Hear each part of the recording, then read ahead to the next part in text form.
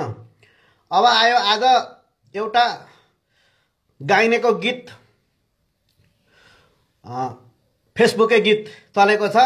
Cassette बिक्ने पनि होइन केही होइन। फेसबुकै गीत भन्छु म त्यसलाई। गणतन्त्रको जनताको रगतले आर्जेको बल्ल बल्लको गणतन्त्रप्रति घृणा फैलाउने एउटा खालको ह्याट स्पिच ह्याट सङ फेसबुकमा हल्ला गरिएको छ। त्यसले चाहिँ नि गणतन्त्रकी प्रतीक मदन भण्डारी अघोषित शहीद हुनुहुन्छ उहाँकी पीडित पीडित परिवारकी पत्नी शहीद परिवारकी विद्यादेवी भण्डारी राष्ट्रपति हुनुहुन्छ। उहाँ उहाँ समेतलाई हेलिकप्टर इत्यादिको सेनाले किनेको हेलिकप्टरलाई राष्ट्रपतिसँग जोडेर गीत बनाएर त्यो गाई जात्रे गीत हो त्यो सधैँ चल्दैन पनि त्यस्तो तिथि मिति अहिलेका घटना भएको गीत सधैँ चल्दैन पनि त्यो गीत सार्वजनिक गरिएको छ र त्यसलाई हाइलाइट गर्नका लागि बालुवाटारमा हल्ला खल्ला भयो यो प्रतिबन्ध हुनसक्छ भनेर आफै गाइनेहरूले त्यसलाई हाइलाइट गर्नलाई त्यो गीत चलाउनका लागि युट्युबबाट केही हजार पैसा झार्नका लागि त्यो हल्ला गरेका हुन्। त्यस्तो गीतलाई प्रतिबन्ध गरेर हाइलाइट पनि गर्नु हुँदैन। त्यसलाई व्यवस्था गर्नुपर्छ। तिरस्कारभन्दा ठुलो सजाय केही पनि छैन। विरोधभन्दा ठुलो विज्ञापन केही हुँदैन। समर्थनभन्दा ठुलो दास्ता केही हुँदैन र त्यसलाई चाहिँ तिरस्कारको सजाय दिनुपर्छ। त्योभन्दा ठुलो सजाय केही पनि हुँदैन। र गाइनेहरू बेरोजगारी भएर जिउ पाल्नका लागि स्वास्नी पाल्नका लागि जनताको रगतले आर्जेको गणतन्त्रमा घृणा फैल्याउने हिजो बरु राम्रो थियो राजा हुँदा राम्रो थियो अहिले त केही पनि भएन भनेर कता कसको सेवा गर्न आँटे खोजेका छन् त्यो स्पष्ट हुँदै जान्छ। त्यस्ता नाथे गाइनेहरूलाई तिरस्कार गर्नुपर्छ। अब आयो आजै एउटा पत्रकार पनि होइन योग्यता छैन। पत्रकार हुन एसएलसी पास गर्नुपर्छ।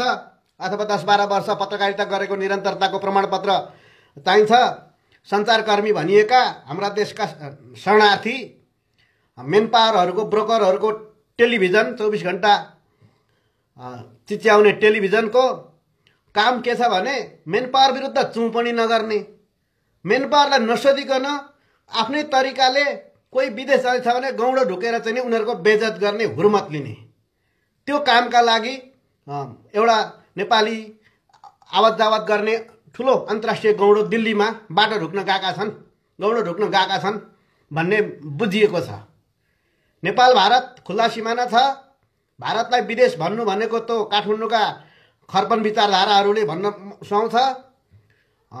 दिल्ली ट्रान्जिट भएर गइरहेका मान्छेहरू सकुशल आफ्नो यात्रामा छन्। हाम्रा चेलीबेटीहरू घरमा पोइ जडिया भएर घरबार बिग्रेर आफै कमाउनु पर्ने बाध्यता भएर विदेशतिर जाँदाखेरि राज्यले सुव्यवस्था गर्न नसकेको टिकट मिलाउन नसकेको कतिपय देशमा चाहिँ काठमाडौँबाट चाहिँ धेरै पैसा नबुझाइकन उड्ने अनुमति नहुने इत्यादि गर्दा दिल्लीबाट मिलाएर उनीहरू उड्न लागेका हुन्छन् त्यहाँ होटलमा ट्रान्जिट बसेका हुन्छन्। त्यसैलाई अलपत्र भनेर क्यामेरा लगेर तेर्साएर तेरो बेजत गरिदिन्छु भनेर म पीडित हुँ भन् इत्यादि भन्न लाएर ती महिलाहरूलाई बेजत गरेर चाहिँ गाडी के अरे प्लेनको टिकट छुटाइदिने अनि उद्धारको नाउँमा तिनीहरूलाई सडकमा अलपत्र पार्ने घरको न घाटको पार्ने त्यो काम गरिरहेको छ। त कसले भन्दा मेन पावरहरूको टेलिभिजनका केही दलाल पत्रकारहरू त्यहाँ चेलीबेटीको बाटो रुक्न गएका छन्।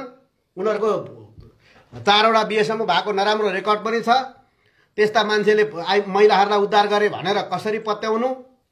त्यस्ता कुण्ठित मान्छेहरू छोरा नजन्मेको टेन्सनले हजारै बिहे गरे गरे पनि घाटैसम्म बिहे गर्ने रहर नमरे पनि भगवान्ले शरीरै त्यस्तै दिए। पार्वतीले मैल नमाडेसम्म गणेश जन्मिँदैन महादेवको अर्धनारीश्वरको। हौ त्यस्ता रोगी दुखी आत्माहरू डिप्रेसनले फ्रस्ट्रेसनले मिडियामा चिच्याउँछन् र खास गरी जनताको सामाजिक सञ्जाल फेसबुकमा आएर डिस्टर्बेन्स सिर्जना गर्छन्। हौ तिनीहरू उद्धारको नाउँमा प्रदेश गइरहेका सकुशल आफ्नो यात्रामा रहिरहेका हाम्रा नेपाली चेलीबेटीहरूलाई दिल्लीमा अँ, शानका साथ होटलमा बसिरहेकामा क्यामेरा लगेर बुम लगेर तर्साएर तेरो बेजत गरिदिन्छु। त पीडित हुँ भन् बेचिन लागेकी हुँ भन् इत्यादि भनेर चाहिँ गलत बयान गराइएको छ। दिल्लीमा पहिला त्यो केजरीवाल कि एउटी मालिवाल भन्ने त्यहाँ दिल्ली वुमेन कमिसनकी एउटी डलरे महिलाले पनि त्यस्ता धेरै काण्ड गरेर हाम्रा चेलीबेटीलाई त्यहाँबाट उद्धारको नाउँमा सडकमा पुर्याइदिए विदेश जाने क्रममा उहाँ सुनिश्चित जागिर खान पुग्ने क्रममा बिचमा चाहिँ डिस्टर्ब गरिदिए त्यो मालिवाल भन्नेले अहिले त्यही बुझेर यिनीहरू मेन पावर तस्करको टेलिभिजनका चाहिँ नि दलालहरू पत्रकारिताको आवरणमा उद्धारका नाउँमा चेलीबेटीको बाटो छेक्न अलक्षण लाउन पुगेका छन्। त्यो कुनै उद्धार सुधार होइन। त्यस त्यसपछि ती बल्ल बल्ल विदेश उड्न लागेका सकुशल आफ्नो रोजगारीको गन्तव्यमा जान लागेका चेलीबेटीहरू सडकमा पुग्छन् घरमा घाट हुन्छन् उनीहरूले मिडियाबाट सार्वजनिक बेजती पनि गरे र चाहिने भिसाको म्याच पनि सिद्धिन्छ। उनीहरूको प्लेनको टिकट पनि छुट्छ। अनि कहाँ जाने? साँच्चै यौन व्यवसायमा गर्ने अवस्था पुग्ने अवस्था चाहिँ त्यसपछि हुन्छ। त्यो उद्धारका नाउँमा पीडित बनाइए ती महिलाहरू। त्यसैले त्यस्तो हरकत बन्द गर्नु उनीहरूले किन त्यसो गर्छन् भने त्यो चौबिस घन्टा चिच्याउने टेलिभिजन मेन पावर ब्रोकरहरूले अनिल जोशीहरूले खोलेको टेलिभिजन हो। उसको काम भनेको मेन पावर विरुद्ध एक शब्द चुँ पनि नगर्ने। र चाहिने मेन पावरलाई नसोधिकन कोही आफ्नै ताकतले आफ्नै औकातले आफ्नै सिलसिला मिलाएर वैदेशिक रोजगारमा जान आँटो भने त्यसकाको त्यस्ताको गौडा छेकेर चाहिँ अलक्षण लाउने। त्यो कामको लागि त्यो टेलिभिजनका ती खास खास पत्रकारहरू दुरुपयोग भएका छन्। त्यसरी अझ हजारौँ पत्रकारहरू आफ्नो बिजनेसमा के अरे मस्त छन् व्यस्त छन्। ती पत्रकारहरू किन चाहिँ नि एक्टिभिस्ट जस्तो ओभर स्मार्ट हुन्छन्? राज्यले छानबिन गर्नुपर्छ। सञ्चार मन्त्री बास्कोटाज्यूले भन्नुभएको थियो छापा मार्ने काम पत्रकारको होइन भनेर। कोही मान्छे अब उनीहरू होटलमा सल्लाहले कोही कोही मान्छे सुतिरहेका डेटिङ गइरहेका ठाउँमा पनि गएर चाहिँ नि उनीहरू चाहिँ बुम तेर्स्याउँछन्। हाम्रो कमिसन खोइ पिसाबमा पनि कमिसन चाहियो अब पत्रकारलाई। त्यो के अरे सञ्चार मन्त्रीज्यूले भने जस्तै प्रहरीको काम प्रहरीलाई गर्न दिनु एक्टिभिस्टको काम एक्टिभिस्टलाई गर्न दिनु पत्रकारले आफ्नो औकात बिर्सिनु पत्रकारले कस्तै फटालाई पनि चाहिँ नि कारवाही गर्न मिल्दैन। सार्वजनिक गरिदिन मिल्छ।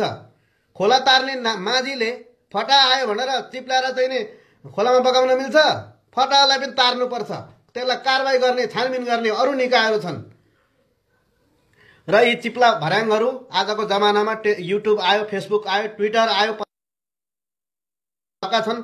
कलाकार पनि बेरोजगार भएर एउटी खुब चलेकी हिरोनी अहिले छाला चाउरी परेपछि विदेश जाने युवा तन्नेरीको दयामाया गर्ने भएर एयरपोर्टमा एक्लै प्रदर्शन गर्ने भनेर मुकुन्दे जस्ती एक्लै अग्रसर हुन भनेर मन्त्रीसँग सेल्फी खिचेको पनि देखेको थिएँ।